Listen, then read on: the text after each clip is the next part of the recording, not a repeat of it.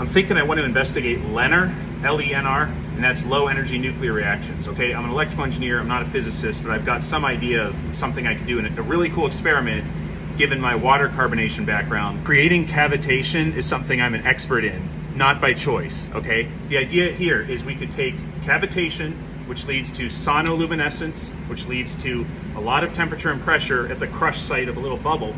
We create that sonoluminescence with a horn on a transducer, so piezo again, and then within that sonoluminescent bubble, which could be you know tens of thousands of Kelvin, if not 100,000 or a million Kelvin potentially, like a one to five micron sparger, we might pump argon into there to increase the temperature of that bubble further. Now this is the cool part. If we put nickel in there, I'm thinking a very thin nickel wire, maybe 10 thousandths of an inch, pure nickel. If there is a fusion reaction, the nickel will turn into copper. It will release energy, so we'll see an increase in temperature of the water relative to not having the nickel in there. We can measure this, we can log it into Excel using Raspberry Pi and Python. We can do the LENR experiment in my lab right here.